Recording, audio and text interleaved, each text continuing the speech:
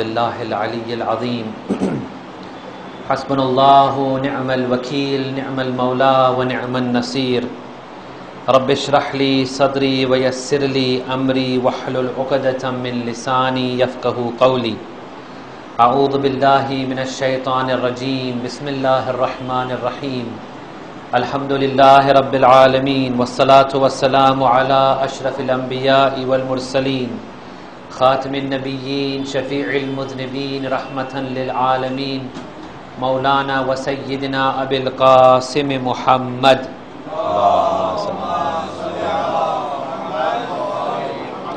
وعلى آله الطيبين الطاهرين المعصومين المنتجبين المظلومين الهداة المهديين لا سيما بقية الله في الأرض أرواحنا له الفداء.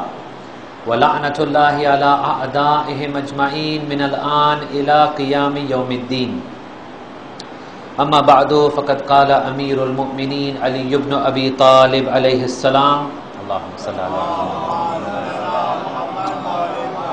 وَإِنَّ قَوْمًا عَبَدُ اللَّهَ شُكْرًا فَتِلْكَ عِبَادَةُ الْأَحْرَارِ پر محمد وآل محمد صلوات. اللہ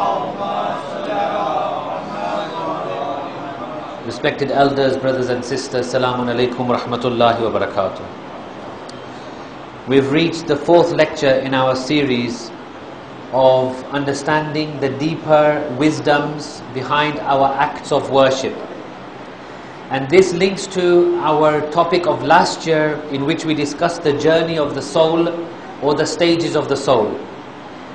We cannot hope to progress towards Allah in our soul, we cannot hope to have a meaningful life on this earth, we cannot hope to have a successful life in the hereafter if we do not come to this point and realize that it requires hard work. There's no quick fix, there's no instant tablet or pill that you can take to make you into a successful person in this life and the hereafter. It requires hard work. And this hard work comes in the form of worship, acts of worship, ibadat. And each ibadat has got a secret behind it. And each secret has been explained by the 14 ma'sumin. But not always in the same way. So you'll often find that they will explain certain secrets at certain times to certain people. They won't reveal everything at once. This has a number of reasons. Maybe the person who is listening can't take it. His heart is not ready for it yet. Maybe the Imam saw some wisdom in not explaining everything. But that presents us with a slight problem, which is why we need to think carefully about this subject. The problem is that sometimes we can take an intermediary level of explanation and we can mistakenly think that it is the ultimate objective. Let me give you an example. Commonly, when we are asked by non Muslims about fasting, they say to us, Why do you fast? So, a common answer is we fast in order to feel the pain of hunger which the poor people feel. Right? That's fine. Ma'asumin have also said this. Imams have also said this. But then there's a question that comes to mind, isn't it? What about the poor Muslim who is fasting?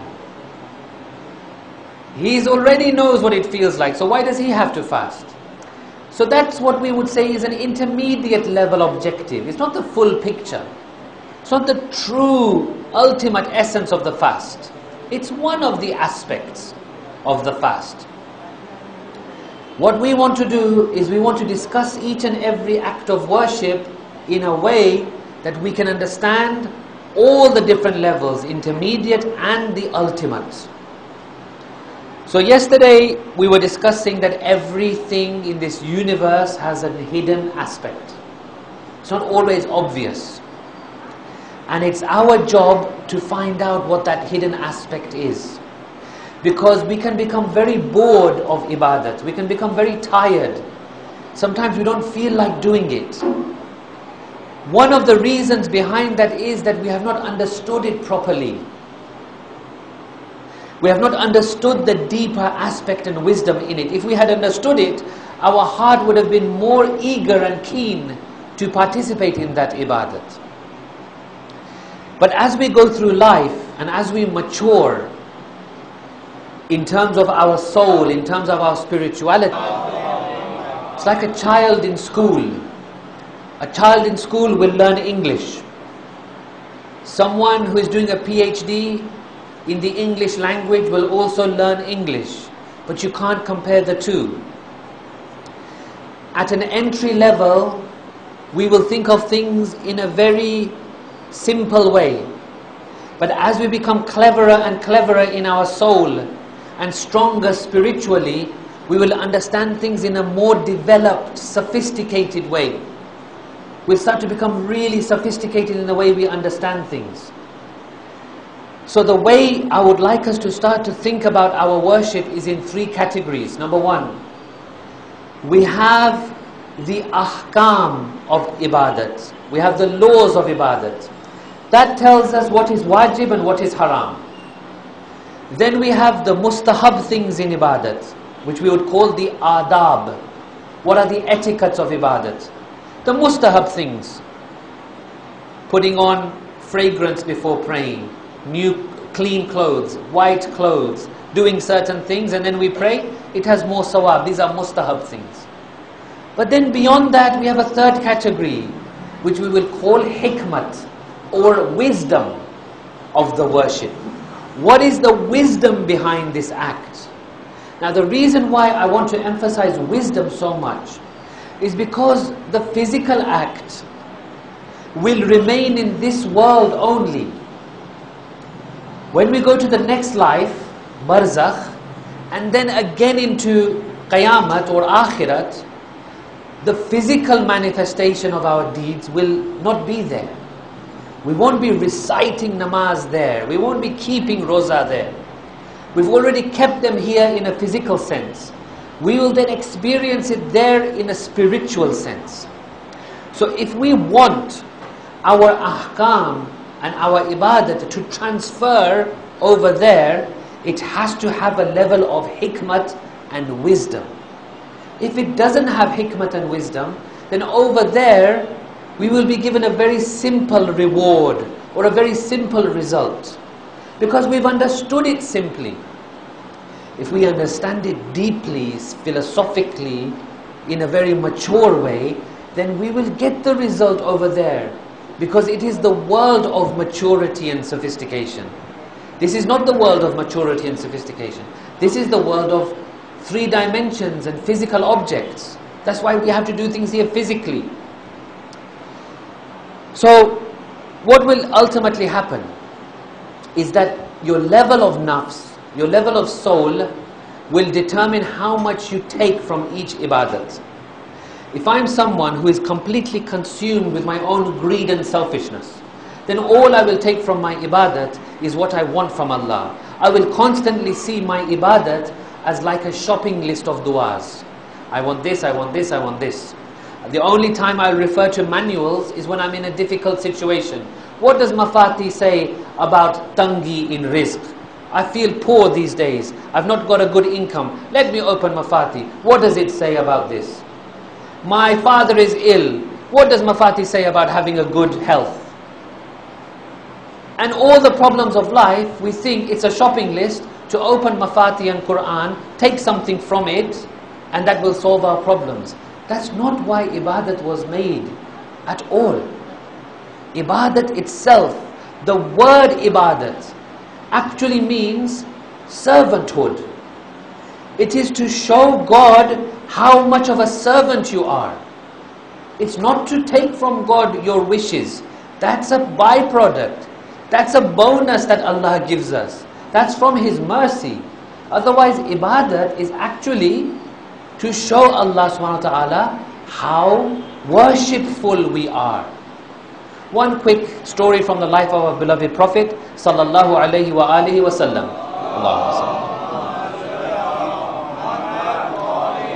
It's narrated that Rasulullah was one day sitting on, in the streets of Medina as he usually would. He would hold audiences, he would receive people. He was sitting there and a lady approaches him. She says, Ya Rasulullah, I love everything about you except for one thing. He says, Tell me, what is this one thing? She says, Tajlisu jilsat al abd. The way you sit is like our servants sit like this. You sit so humbly, so meekly, weakly. You know, you, you sit like a servant. This is how our servants sit. Rasulullah says, وَوَيْحَكِ فَأَيُّ عَبْدٍ أَعَبَدُ مِنِّي He says, woe be to you, you have not understood. Which servant is there more dutiful to his master than me? I see myself all the time in the presence of Allah subhanahu wa ta'ala. That's why I sit like this all the time. Because I'm always aware that I'm a servant of Allah. So, ibadat must be understood properly. It must be understood for what it is. It is the chance for us to show Allah how much of His servants we are. With one salawat ala Muhammad wa ali Muhammad. So yesterday we discussed intention. That is the cornerstone. Ulama say intention to an act is like soul to a body. Take a body, take a person, the moment you extract that soul, that body will fall down and crumble. It won't have an ounce of life in it. Within a few hours, it will begin to stink. It will become infested. You'll have to stay away from it. You will find it disgusting. An act without intention is like this. It is like a body without a soul. It will not benefit anyone because it must have that ingredient of intention. In the words of Imam Ja'far Sadiq alayhi salatu wassalam, he says that a good intention is that intention in which you do not expect any praise or appreciation from other than Allah subhanahu wa ta'ala. Now here we have two traps of shaitan which we tend to fall into. The first trap of shaitan is that we do something, we do a good deed, we help someone, and then we complain. We say things like, I did this for him, but he did not even thank me. They did not even appreciate me. Ulama say that this comes into this category. If you think you are doing something for someone and then you expect to be thanked for it, it's not sincere. Because the act which is supposed to be sincere, a good intention is that in which you do not expect appreciation from anyone other than Allah subhanahu wa ta'ala. That's the first trap of shaitan. The second trap the second trap of shaitan is very cunning indeed. What he does is that in the moment of sincerity, we will do a good deed and we will be sincere about this good deed. We performed the deed, right? Allah subhanahu wa ta'ala has given us sawab. Let's say He gives us a thousand sawab, for example's sake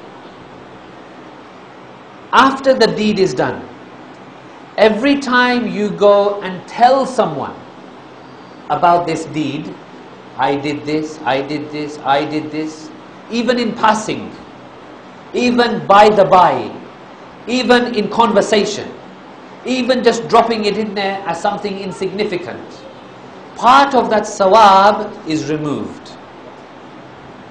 So a thousand becomes 900, becomes 700, becomes 200, becomes zero.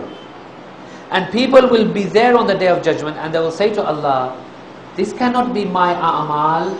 I did much more than this, O my Lord.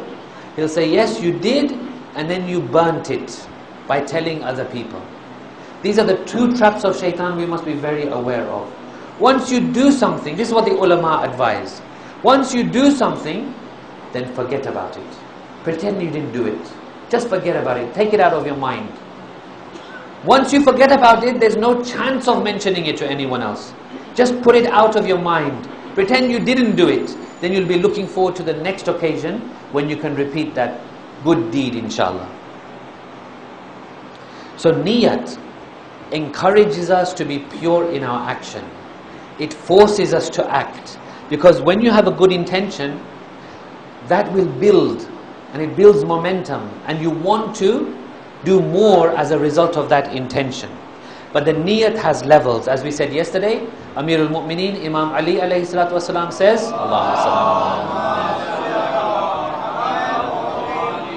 that there are three types of people. One group will worship Allah, greedy for what He can give them. These are the businessmen.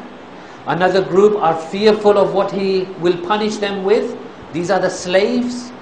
And a third group worships Allah because of a sense of gratitude. And this is the worship of the free people, the truly free, the ahrar. Now, this is moving us towards understanding ikhlas sincerity. The opposite of sincerity is what I want to speak about. The opposite of sincerity is called riyah. Doing things to show, to show others. So you do something in order for other people to look at you and say, wow, what a person, what a man, excellent, what a good deed. This is known as riyah. Someone came to Ayatollah Bahjat marhum May Allah raise his station. They came to Ayatollah Bahjat and they said, Agha, we are afflicted by Riyah. I cannot help but do Riyah. How do I stop this? Agha said, continue doing Riyah. But not for human beings, for Allah subhanahu wa ta'ala. Show off as much as you want to Allah. Show Him how good you are. Get him to say mashallah, get him to say wow, get him to say fantastic.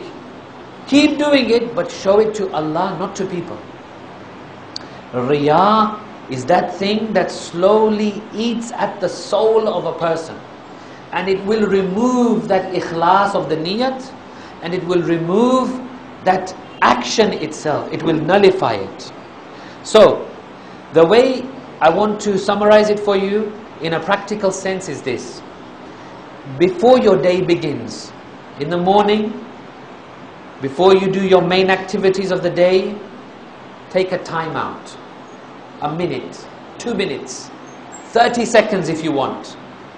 Just sit and contemplate, reflect. What am I going to do today? What is my plan? Everyone knows a rough idea of the day. Who am I going to meet? What work will I do? What work will I achieve? How much of this can I do strictly for Allah subhanahu wa ta'ala? Take a time out, probe in your mind, reflect, think, and find that time to devote your acts for Allah subhanahu wa ta'ala. You can do the same thing before every prayer. You can do the same thing before dua. You can do the same thing before any act of worship. Take that time, think carefully, and then go towards that act of worship. Make sure it is for Allah subhanahu wa ta'ala. This is why you'll see many ulama, they will take that few seconds before they say takbiratul ihram. If you are fortunate in, to pray behind them, you'll see that they do not, do not uh, begin their acts of worship straight away. They have that moment of reflection of clarity of what I'm doing, who I'm facing. And that's when they begin their prayers with one salawat ala Muhammad wa ala Muhammad.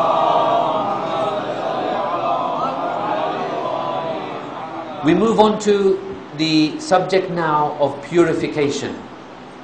Purification, or in Islamic terms, taharat, is something that exists in every single religion. You'll see all major religions have this concept. Some kind of cleansing, washing. Um, in Christianity, you have baptism. Uh, in the Hindu faith, you have the form that they do in the sacred rivers which they believe in. There's some kind of bathing, ritual, cleansing, which has a dual effect. There's a physical act, but it represents something much greater. In short, what Islam says is that whatever keeps a person away from God must be cleansed. So, in a nutshell, cleansing within Islam, whether it's wuzu, ghusl, tayammum, all of these different ways of purification, cleansing, are all geared towards making us understand that there are certain things which we must cleanse ourselves from, which are keeping us away from Allah subhanahu wa ta'ala. We must have that clarity of purpose to understand our goal and what is preventing us from that goal. Now, for someone, it may be love of family that may be preventing them from reaching Allah. Love of money, wealth, their job, their luxuries, their possessions, their house, their car. It could be anything, but what is keeping them away from Allah subhanahu wa ta'ala? That's what we have to identify.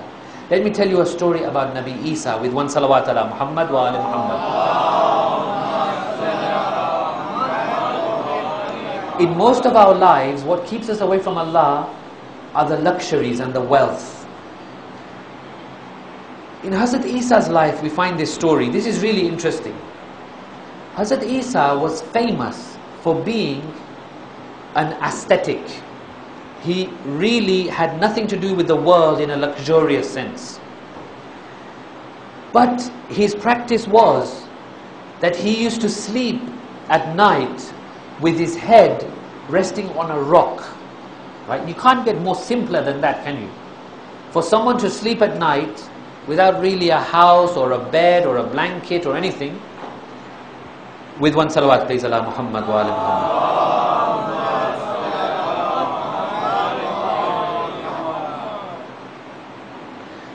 You can't get more simpler than that. So, what happened is, over time, Hazrat Isa began to find an attachment towards this rock. Now, it sounds strange, but because he had become so used to it, because he had made it a routine for himself, because he enjoyed the aesthetic nature of the rock, Shaitan comes to him and says, Ya Isa, araghibta fid dunya. Have you become attracted to the world? Isa said, No, look at me. I am so simple. And Shaitan said, No, can you bear to be without that rock of yours every night? So what does he do? He realizes at that moment and he throws it away. Even the most basic thing can become an attachment. And the more attachments you have, the less you'll be able to let go and travel towards Allah subhanahu wa ta'ala. Another story. Mullah Ahmad Naraqi marhum, one of the famous ulama of Islam, written many books on akhlaq. It so happened that in his life he was wealthy. He had wealth. He was visited one day by a common person who was traveling through on his way to Najaf he passed through the village of Mullah Naraqi and he sees his house, he meets him and he says, My God, I did not realize you were so wealthy. You have a house, you have land, you have animals, you have things growing. This is wealth. So Mullah Naraqi explains to him, Yes, these are my things. I acquired them lawfully. I give from them to charity. But it's not important what you own. The important thing is that that thing should not own you. So they have this debate, and Mullah Naraqi fails to convince him. So this person comes and he says, Look, I'm on my way to Najaf. Why don't you come with me? We'll, we'll continue our discussion. Mullah Naraqi says, Okay, I'll come with you. They start to go towards Najaf. Now it so happened that this simple man, he had a, what you would call like a container, a very simple clay pot in which he used to keep a few things and he would keep it inside his pocket. So after they had gone a couple of miles, that man put his hand inside, inside his pocket to take out this clay pot, this container. And he sees, oh, my thing has, is not here. Where could it be? So he remembers and he says, Oh, I removed it at your house and I've left it there. You know, the panic when we feel our mobile phone is not in our pocket, how we panic. So he said, Oh, I must have removed it at your house. I must have left it there. Come on, let's go back and get it. So Mullah Naraqi says, We've traveled miles. And you want us to go all the way back for this thing? He goes, Yes, yes, it's very important for me. So he says to him, Now you tell me. I left my house, land, animals in an instant when you said, Come for the ziyarat of Najaf. You claiming that you are so simple cannot bear to be without this one possession of yours which is not even worth anything. So now you tell me, who is more worldly from the two? And then it hit him exactly what Mullah Naraqi was trying to say. So in the language of Islam, attachments are bad. Any attachment, apart from godly attachments. So someone says, I'm attached to Imam Hussein alayhi salam, that's fine. That's a godly attachment. I'm attached to Quran, that's fine. But other attachments which keep you away from Allah are not good. So, in terms of purification, we must cleanse ourselves from everything that keeps us away from Allah subhanahu wa ta'ala. With one salawat ala Muhammad wa Muhammad. Now, what the Quran says, Ya ayyuhalladhina amanu idha qumtum ila salah. In the famous verse describing wudu, Allah subhanahu wa ta'ala says, Oh you who believe, when you go towards namaz, when you go and stand before God to pray, you must do certain things. You must wash your faces, you must wash your arms, you must wipe your head, you must wipe your feet. Then Allah subhanahu wa ta'ala says, when you can't find water, you can do tayammum with clean earth. After this, he makes a conclusion. He says, Ma yuridullahu liyaj'ala alaykum min haraj. Allah is telling you to do things not because He wants you to have any difficulty. Walakin yuridu liyutahhirakum. He wants you to become pure. Wudu and tayammum are there to purify us. Now, the question arises that when we say wudu purifies us, it's quite simple. Water, being a cleansing agent, will naturally clean a person. Put it on your face, put it on your arms, you're going to be cleaner than before.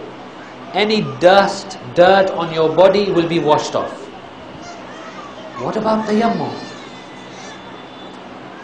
Tayammum literally is making yourself dirtier than you were before because you have to wipe on your face and back of the hands dust. You could be the most clean person physically, but after tayammum, you will have a layer of dust. So, how do we equate that? Well, when we say purity, we mean inner purity. Water may give external purity, but tayammum doesn't.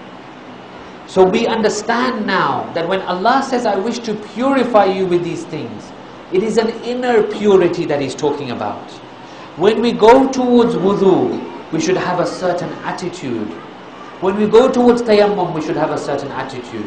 What attitude? Imam Khomeini, he says, and he used to say this regularly in his life, whenever he would approach wudu, he would say, and he would say this sentence, he would say, let us go towards the mercy of Allah.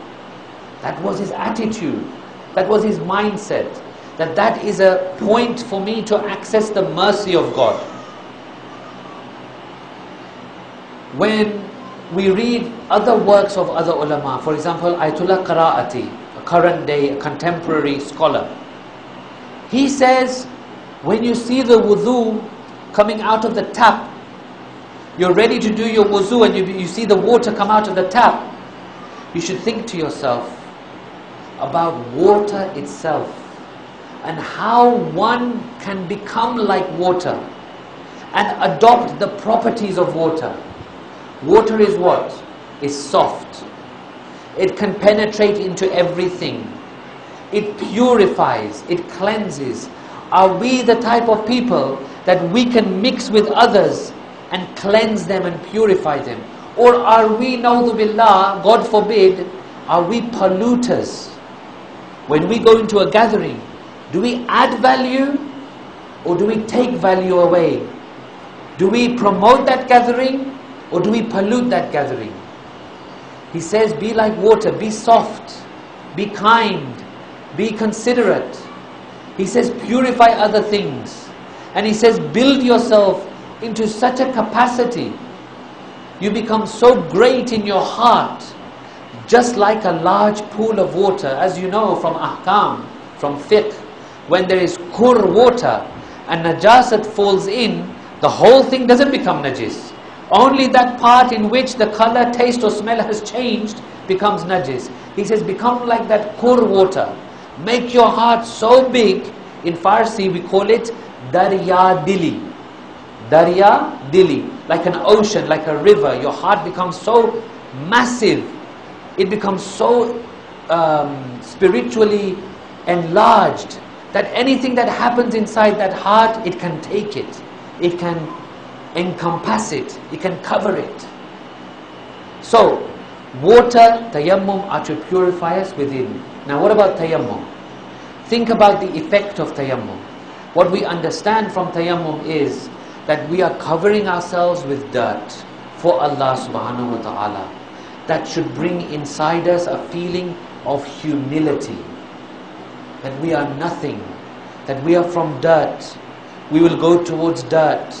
All day we clean ourselves and our houses to get rid of dirt. Allah subhanahu wa ta'ala says, no, have a reminder that there are certain times that will come in your life, you'll have to return back to dirt. So make yourself humble. Make yourself humble in front of Allah subhanahu wa ta'ala. With one salawat ali Muhammad wa ala Muhammad.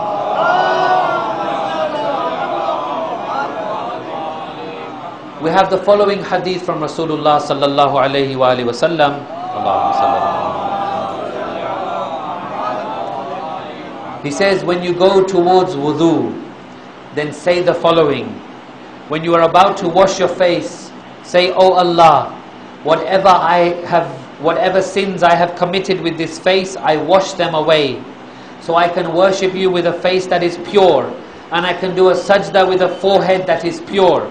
When you wash your hands, say to God, O Allah, I have washed my hands of sins. I don't want to go back to sins. Whatever sins I've done with these hands, I wash away.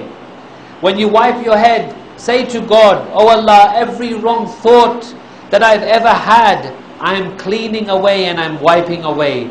With your feet, tell Allah, forgive me, O my Lord, for the sins that I've done with these feet, for the places that I've gone to where I should not have gone over time, when a person has this kind of attitude towards wudu and tayammum and ghusl, he will develop a kind of shield around him.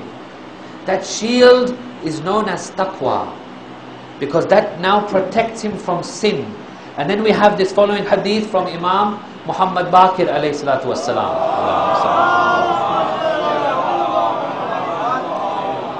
Al-mu'minu La yunajjisuhu shay. Mu'min is that person which nothing can make him najis. Meaning, inside. He will not allow pride and arrogance to make him dirty on the inside. He will not allow jealousy and anger to make him dirty on the inside. He will not allow anything to influence him in a negative way. Finally, we have the following advice from our ulama.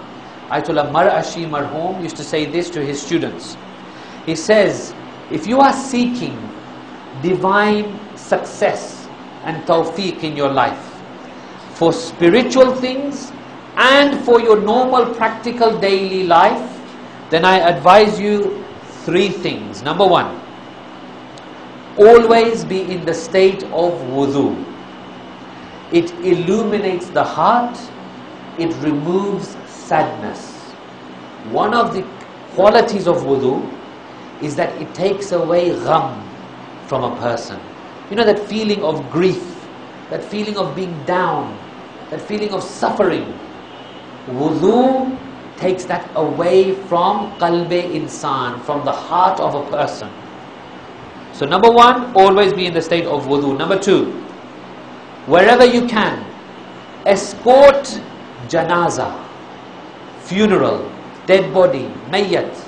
Whenever you can, escort it, even if it is for a few steps. Why?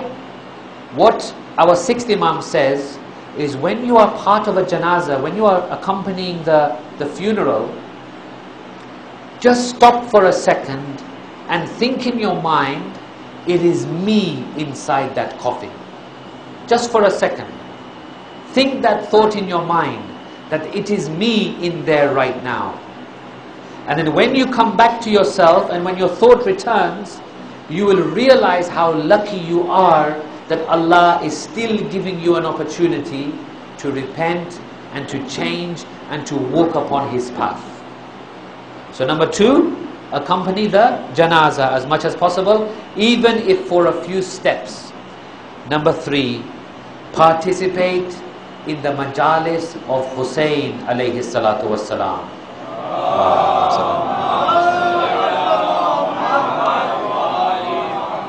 That is also one of the great sources of divine tawfiq and grace. Sometimes we don't have tawfiq, there's a reason behind it. Sins, for example, are a barrier to tawfiq. Na shukri, not being uh, not having gratitude towards Allah is a barrier for tawfiq. Cutting sile raham, cut raham, cutting off with family ties, not speaking to them, not visiting them, not asking about them. These are all barriers to tawfiq.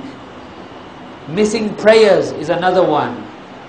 These are all things which are a barrier, they block tawfiq from Allah subhanahu wa ta'ala. So the three of these were be in wudu as much as possible. Number two, accompany funerals as much as possible, even if it is for a few steps. And number three, participate in the azah of our third Imam with one salawat ala Muhammad wa ali Muhammad.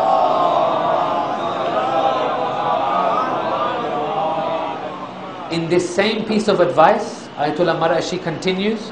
He says, despite being one of the senior figures and ulama of the Hawza, I would take pride and pleasure in serving tabarruk and tea to the azadar of Imam Hussein. It was a pleasure and a pride for him to do this. There's no barrier, there's no sense of big and small when it comes to Imam Hussein salam. It is tawfiq which is the big thing. Tonight, I want to cover a period of history regarding the third Imam, which will show us this very nicely. The issue of tawfiq. Imam Hussein salam receives the news of the shahadat of Hazrat Muslim. He's very, very upset and grieved by this news. He continues on his plan. He cannot go back to Makkah. Medina is out of the question. The only place he can really go to is to continue towards Kufa. He begins his journey. Now, he reaches a place which was known as the station of Bani Muqatil. So in the desert they used to have lots of stations and these were mainly water wells where travelers would stop, they would fill their skins of water, their jugs of water, they would feed their animals and they would continue. Now, when he reaches this place, he sees that there is a tent there. The tent has a sword, has a spear, and has a horse. He realizes that someone special is here. Like that were the, those were the signs of someone big, a leader.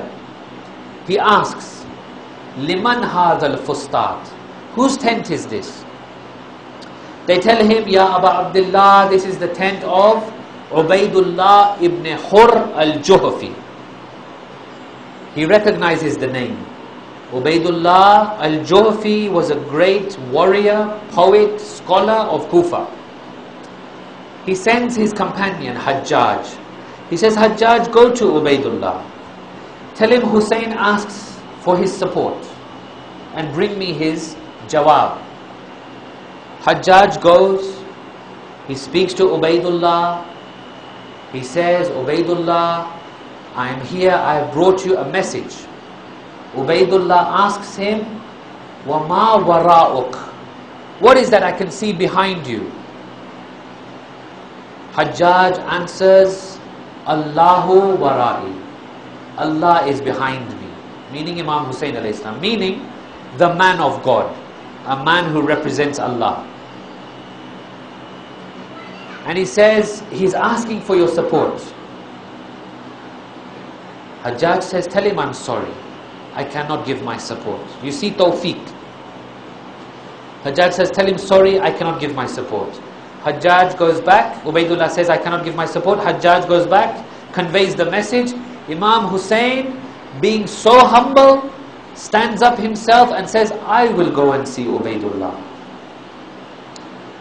Imam Hussein leaves his tent, goes towards the tent of Ubaidullah. Ubaidullah sees him from a distance. He is shocked that the son of Fatima is giving me this much respect that he's standing up and coming towards me. He goes out of his tent, they meet in the middle, they say salam to one another, they exchange formalities, and Imam says, I invite you to join me. Ubaidullah says, Oh Imam, I was scared of you coming to Kufa and asking me to join you. That's why I've left Kufa and come here. I have a wife, I have children, I have commitments. Do you see attachments? Do you see how they can hinder a person? I have a wife, I have children, I have commitments. I cannot join you. If you had more supporters, I would have been the first one. If you had more people with you, I would have been the first one with you. But in this situation, I cannot. But I will give you my horse I'll give you my sword. My horse is loyal. My sword has never lost a battle. Imam says, I've not come for your horse or for your sword. I've come for you. I am here for humanity. I'm here to break these shackles that people have with their attachments.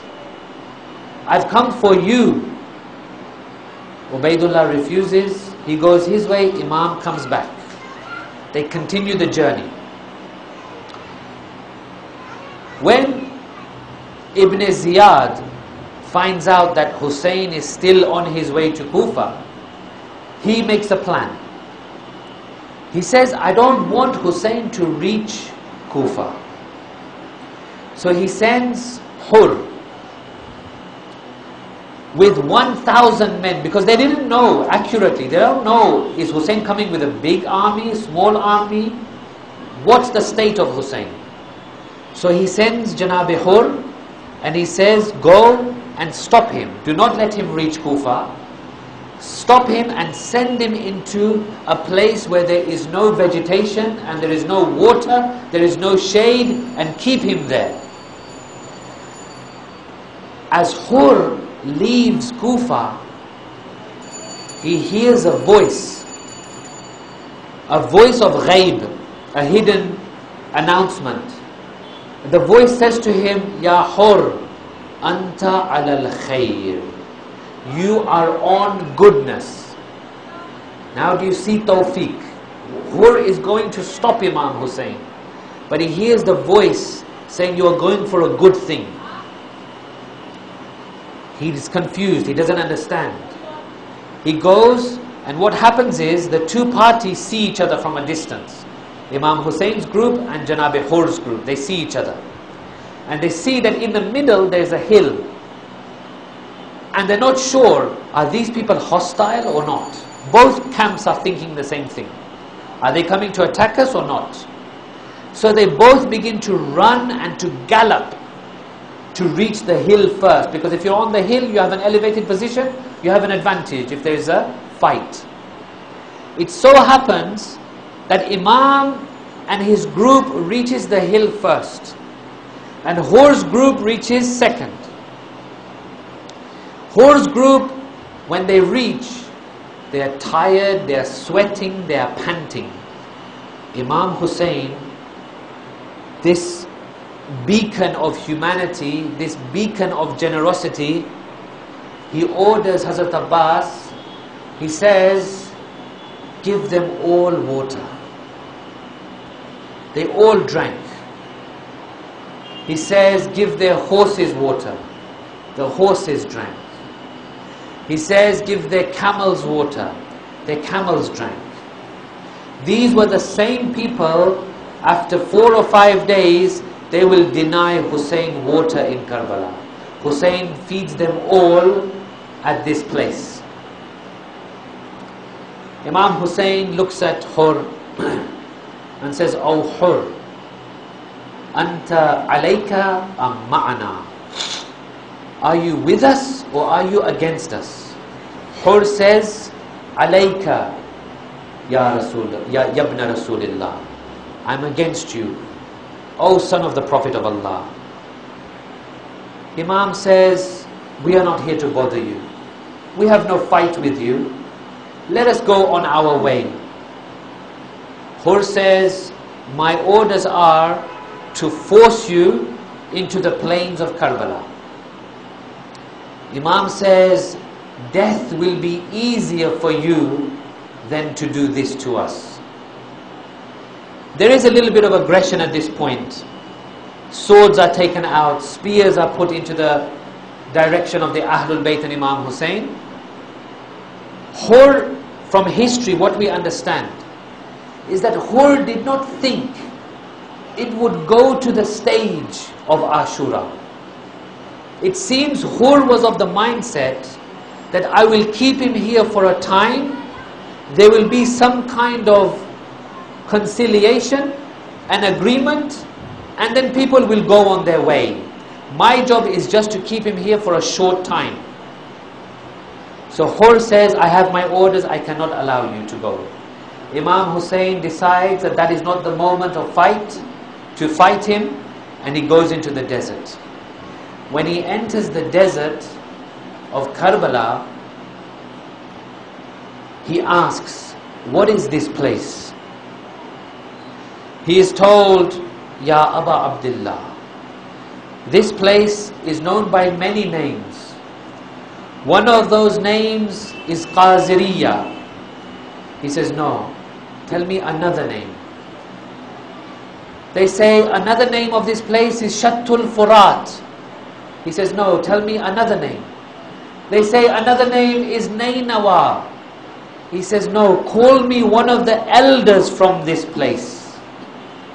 An elder of Bani Asad comes. The Bani Asad were the tribe who lived around Karbala. He says, Is there another name of this place? He says, Yabna Rasulillah, if you don't ask me, it is better. Imam says, Tell me. He says, This place is also known as Karbin wa Bala, a place of sorrow and calamity. Imam gets down from his horse and says, This is where we will put our tents. This is where we will stay. This is where our blood will be spilled. This is where our children will become shaheed. We have a reference to this in history. When Imam Ali alayhi salam was going towards Siffin for the battle with Muawiyah, it is said that he passed through Karbala. And when he passed through Karbala, he stood there and he began to weep and he wept so much. Ibn Abbas narrates that I saw Amirul Mu'mineen weeping to such an extent that I asked him, I said, Oh Mawla, why do you weep so much? And all he could say was, Sabran ya Aba Abdullah. Oh Aba Abdullah, have sabr at this place. Have sabr at this place. Imam puts up his tents. They begin to prepare to stay in this place. Imam is staying in Karbala now. He realizes that now this is the place that he has been promised by his grandfather, by his father, that he is to give a sacrifice for Islam which no one had given before him. And on that morning of Ashura, we see the tawfiq which happens to Janab. It is said that if you were to choose a person in the army of Yazid who was the bravest and most courageous and most noble, that would be Hur. And Hur on the morning of Ashura is seen, his face is pale, he has not slept the whole night, and he is walking up and down. Someone comes to him and says, Oh Hur, you look as if you are scared. What is the matter? Hur says, Do me a favor, put your ear to the wind and tell me what do you hear? When the man puts his ear to the wind, he looks at Hur and he says, All I can hear are the screams of children, and they seem to be screaming, Al Atash, Al Atash, Al Atash. We are thirsty, we are thirsty. Hur says, This is the reason that I cannot find any rest in my heart, and I must go towards Hussein. And Hur says to his son, You come along with me. And he says to his servant, You come along with me. But I cannot go before Hussein like this. Hur says, First of all, tie my hands behind my back and tie a blindfold around my eyes, and you lead me to Hussein. And when Hur comes close to the camp of Imam Hussein, Imam says to Ali Akbar, Ali Akbar, go and receive the son of Hur. And he tells Abbas, he says, Oh Abbas, go and receive the brother of Hur. And they say to him, Ya Abu Abdullah, Ya Abu Abdullah, who will you receive? He says, I will receive the slave of Hur who has come with him. This was the Imam, this was the humility of Hussein. Hur comes before Imam, he falls at his feet and he says, Oh Hussein, oh Abu Abdullah, because of me you are now in this situation. I was forced to lead you here. Can you forgive me? Imam says, Hur, do you not know who we are?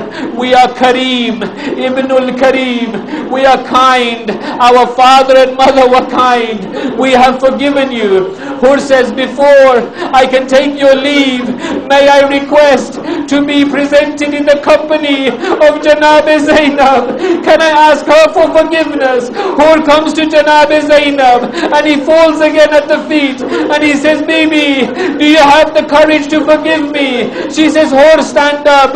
You are our guest. You are forgiven. He says, Oh great lady, promise me one thing that on the day of judgment, when your mother Fatima comes, that you will not complain about me. She says, Hur, you are forgiven. Now stand. Hur and his son come to Imam Hussein alayhi salam. They say, Oh Abu Abdullah, give us the honor.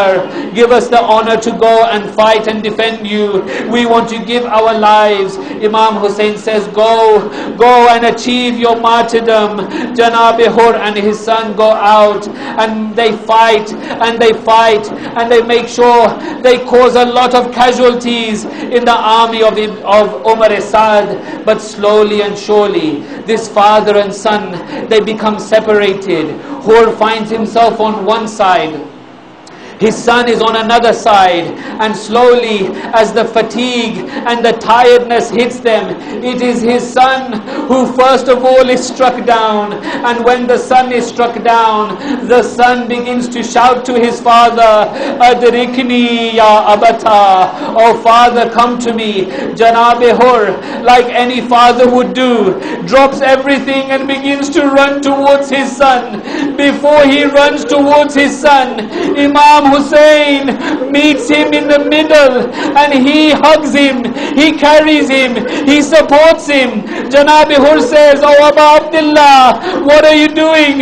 Imam says, Hur, no father should have to go to receive the body of his son alone. I am here to protect you. Oh Abu Abdullah, what happened when Ali Akbar fell? Who came with you to the body of Ali Akbar? They say that when Ali Akbar was on the ground, Imam could not walk in a straight line. Imam would walk and then he would fall, and then he would walk and then he would fall, and he had darkness in front of his eyes, and every time he would fall, he would say, Aina, Aina, Ya Ali Akbar, Ali Akbar, where are you? I cannot see you. Imam, you were kind, you went with Hur, but no one was there to come with our Imam to the body of ولي أكبر ألا لعنة الله للقوم الظالمين. وسيعلم الذين ظلموا أي منقلب ينقلبون. Let us remember all our marhumin with Al-Fatiha.